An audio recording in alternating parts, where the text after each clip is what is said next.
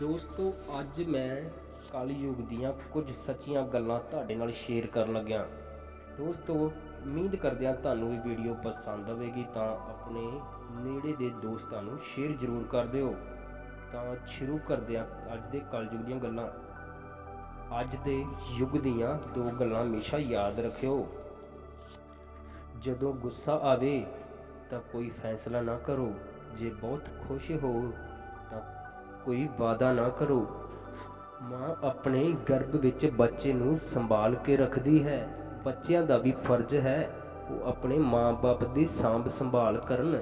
ਜਦੋਂ ਤੁਸੀਂ ਧਰਤੀ ਤੇ ਪਹਿਲਾ ਸਾਹ ਲਿਆ ਸੀ, ਤਾਂ ਤੁਹਾਡੇ ਮਾਂ-ਬਾਪ ਤੁਹਾਡੇ ਕੋਲ ਸਨ। ਜਦੋਂ ਉਹ ਆਖਰੀ ਸਾਹ ਲੈਣ, ਤਾਂ ਤੁਸੀਂ ਉਹਨਾਂ ਕੋਲ ਮੌਜੂਦਾ ਹੋ। ਬਚਪਨ ਵਿੱਚ, ਗੋਦੀ ਵਿੱਚ ਪਾਲਣ ਵਾਲੀ ਮਾਂ ਬਾਪ ਨੂੰ ਕਦੇ ਧੋਖਾ ਨਾ ਦੇਣਾ। ਚੰਗੀ ਸੋਚ ਬੰਦੇ ਨੂੰ ਰਸਤਾ ਦਿਖਾਉਂਦੀ ਹੈ। ਭੁੱਲ ਕੇ ਵੀ ਆਪਣੇ ਦਿਲ ਦੀ ਗੱਲ ਕਿਸੇ ਨੂੰ ਨਾ ਦੱਸਣਾ, ਇੱਥੇ ਕਾਗਜ਼ ਵੀ ਥੋੜੀ ਦੇਰ ਵਿੱਚ ਅਖਬਾਰ ਬਣ ਜਾਂਦਾ ਹੈ। ਬਾਪ ਦੀ ਪੱਗ ਕੱਪੜੇ ਦੀ ਨਹੀਂ, ਧੀ ਦੀ ਇੱਜ਼ਤ ਵਾਂਗ ਹੁੰਦੀ ਹੈ। ਜਿੱਥੇ ਧੀ ਜਾਂਦੀ ਹੈ, ਪੱਗ ਨਾਲ ਨਾਲ ਜਾਂਦੀ ਹੈ। ਦੋਸਤੋ ਲਾਈਕ ਕਰ ਦਿਓ ਵੀਡੀਓ ਨੂੰ। ਧੰਨਵਾਦ।